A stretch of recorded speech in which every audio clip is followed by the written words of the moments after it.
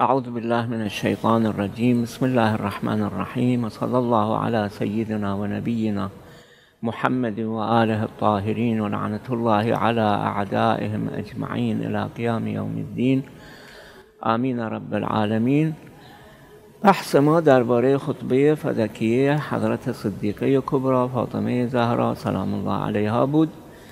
و رسیدیم به اینجا که حضرت زهر فرمودند حکمت صله رحم کردن و فلسفش اینه که هم سبب بشه عمر انسان طولانی بشه و هم جمعیت انسان پرعدد و پر جمعیت بشه. و فرمایش بعدیشون اینه که میفرمایند والقصاص حقنا للدماء. و خدای متعال قصاص را واجب کردن. قصاص اینه که خدای نکرده اگر یک انسانی عمدن یه انسان دیگر را یک بیگناهی را بکشه به قتل برسونه در اسلام حکمش را قصاص فرمودن. البته آیه کریمه که میفرمند ولکم فی القصاص حیات. برای حکم قصاص خدا زندگی در اثر قصاص زندگی را محکم و مثبت کرده و قوی کرده. و آیه کریمه اشاره داره و بعد هم میفرماید اگرم عفو کنید خب این پلو خدا بهتر هست. بنابراین حق قصاص برای ولی دم هست. یعنی کسی که مثلا خدایی نکرده پسر کسی را به قتل میرسونه پدرش که ولی دم هست او حق داره که چند کار بکنه. یکی اینکه قصاص بکنه یعنی همونطور که این پسرشو کشت او هم او را بکشه. البته بدون اجازه و بدون حکم حاکم شرعی نمی‌تونه این کار رو بکنه. همه احکام به حساب حدود و احکام جزایی در اسلام اینا تمامش بعد از اینکه حاکم شهر قضاوت بشه و او حکم صادر کنه اون وقت میشه حکم را اجرا کرد. اما بدون اینکه حاکم شرعی حکم رو اجرا کنه نمیشه انسان به دست خودش و بی اجازه حکم رو انجام بده چون این در هرج و مرج و اینکه انسان به هر بهانه ای بخواد یکی تو بکشه بگه مثلا این این کار کرده که مستحق کشتن بوده من کشتم. لذا اسلام برای اینکه جلو این هرج و مرج و اینکه خونریزی در جامعه برقرار بشه برای جلوگیری اینا خدای متعال فرموده که بایستی و احکام شرع ما و روایات و احادیث اهل بیت فرمودن که بایست قضاوت برن پهلو قاضی تحاکم بشه ترافع بشه. ثابت که شد و حاکم ده. اجازه حکم شرعی قصاص رو بده اون وقت می‌تونه به حساب ولی دم قصاص کنه. بالاخره این یه حکم شرعی است نسبت به قصاص که می‌خوام عرض کنم اسلام دین با حکمت و با عظمتیه. چرا قصاص که الان بعضی از کشورهایی که دعای تمدن می‌کنن و پیشرفت می‌کنن اینا قصاص ندارن. یعنی میگن اعدام این خلاف حق انسان هست. ولی حال اینکه اسلام بالاترین دینی است که حقوق انسان را مراعات می‌کنه. اما برای اینکه جامعه از خونریزی و از اینکه هر کسی بتونه یکی رو بکشه و کارش نکنن و او را جلوگیری نکنن این پرج و مرج قرار می‌گیره و به ضرر جامعه هست. بنابراین اسلام که دین حکمت هست دین انسانیت هست و حقوق فرد و حقوق جامعه را با هم در نظر می‌گیره. مثل سرمایه داری نیست. قانون غرب که فقط فرد را رعایت می‌کنه. کار به اجتماع و جمعیت نداره. اسلام دینی است که هم حقوق فرد را و هم حقوق اجتماع و جامعه را در نظر می‌گیره. لذا حکم قصاص یک حکمی است که مطابق فطرت و عقل هست و حتی در جاهلیت اینها برای اینکه از کشتن افراد جلوگیری کنن برای خودشون یه قانونی درست کرده بودن و چون اونها عرب فصیح بودن و در فصاحت و بلاغت در اوج بودن. برای خودشون انتخاب کرده بودن این کلمه ای را و اونها را به عنوان به حساب مثل یعنی نوشتاری می‌کردن و می‌زدن به در دیوار به کعبه زده بودن. القتل و انفال القتل قتل قاتل به این معنا. قتل قاتل این سبب میشه که قتل را جلوگیری کنه از کشتن دیگران جلوگیری کنه. القتل و انفال القتل. این شعار جاهلیت بود و این را تابلو کرده بودن و زده بودن به اطراف حتی به کعبه به خانه کعبه به پرده خانه کعبه زده بودن که القتل و انفال القتل.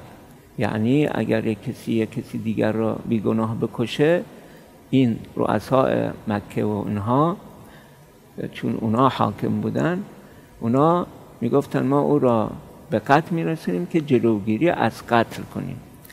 جالب اینجاست که آیه کریمه قرآن وقتی نازل شد ولکم فی القصاص حیات.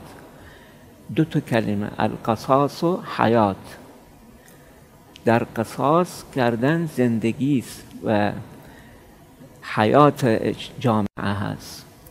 این عربی که ادعای فصاحت و بلاغت می کرد و اوج بلاغت و فصاحت خودش را می‌دید از خجالتشون رفتن این تابلوشون رو برداشتن که القتل و انفال القتل که به قول خودشون معجزه کرده بودن این لفظ رو انتخاب کردن که لفظ کوتاه و پرمعنا. اما دیدن اسلام و قرآن پیغمبر خدا قرآن که نازل شده پیغمبر خدا عرض کرد بر اونها ولکم فی القصاص حیات. اینا خجالت کشیدن. چون دو تا کلمه است القصاص و حیات. اونا سه تا کلمه بود و از زمین تا آسمون فرق بین دو تا تعبیر. لذا اینا خجالت کشیدن و رفتن. اون تابلوهایی که زده بودن القتل و انفال القتل و ورداشتن چون دیدن قرآن اومده و لکم فی القصاص القصاص و حیات. در قصاص زندگی و حیات جامعه هست خجالت کشیدن. قرآن کلش اینجوره در مقابله و لذا اونها با اسلام و با مسلمان ها جنگیدن. برای اینکه عناد می‌خواستن بکنن. فهمیدن که این قرآن فصاحتش بلاغتش. فوق فصاحت و بلاغت اونهاست. فوق تصور اونهاست. اونا کارشناس بودن ولی برای اینکه عناد بکنن و اون حس لجاجت و عناد نعوذ بالله در انسان این حس لجاجت و عناد بسیار صفت بد و زشتی هست. به خاطر اون عنادشون البته اون رؤسایشون بزرگانشون که ابو سفیان و ابو جهل و اینا بودن. اینا آدم های عوضی بودن و نگذاشتن نور اسلام فرا بگیره جهان را. بالاخره حضرت صدیقه کبرا ببینید چقدر آگاهی بلند دارن از اسلام و از حکمت هایی که خدا برای این برنامه زندگی که در اسلام خدا ترسیم کرده و تصویر کرده چقدر آگاهی دارن حضرت صدیقه کبرا واقعا این عظمت حضرت زهرا با این فرمایشاتشون پیدا میشه. یعنی شمه ای و الا روایت داریم که پیغمبر خدا میفرمایند کسی حضرت زهرا را جز خدا و من نشناخته جز خدا و اهل بیت حضرت زهرا رو واقعا نشناختیم. لذا این تعبیراتی که در این, در این خطاب و این خطاب هم حضرت ننشستن. نامه بنو... یعنی مثل ماها ما وقتی می‌خوایم یه جایی صحبت کنیم معمولا میشینیم فکر می‌کنیم می نویسیم ورق می‌گیریم دستمون صحبت می‌کنیم. حضرت صدیقه کبرا بدون اینکه بشینن و فکر کنن و نامه و کتاب در اون چی که می‌خوان بگن مثلا فکر کنن بنویسن و بعدا رو ورق بخون. نه حضرت کبرا اینا خدای متعال علم و علم همه اشیا آگاهی از همه اشیا را علمشون لدنیه یعنی خداییه. لزوم نداره که اونها برن از به حساب معلم اونا یاد بگیرن. گرچه رسول خدا صلی الله علیه و آله معلم همه هست ولی چارده معصوم اینا علمشون از خداست. و اینکه بیاد حضرت زهرا سلام الله علیها و همجوری بنا کنن شروع کنن صحبتشون را. و این فرمایشات پر معنا را بگن واقعا انسان عاقل برای اینها و برای اینکه اینا الگوی بشریت هستن. یعنی اون کمال انسانی را اینها دارن. واقعا باید زانو بزنه و کرنش کنه. البته تواضعی که عبادت باشه رکوع و سجود فقط برای خدا جایزه. ولی اونها را باید الگوی زندگی خود قرار بدیم. اگر بخوایم ما به انسانیت برسیم خوشبخت باشیم.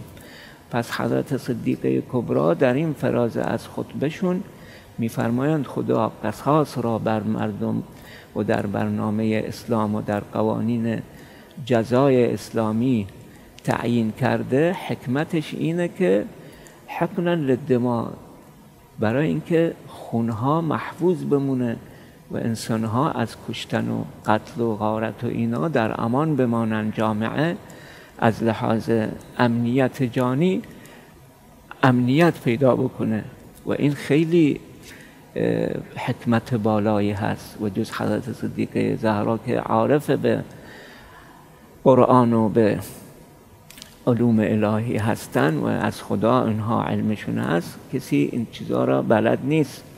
و اگرم بلده از اونها یاد گرفته از اهل بیت یاد گرفته. ما روایت داریم که منشأ کل علم ها و دانش ها کل علومی که حتی علوم جدید امروز ما.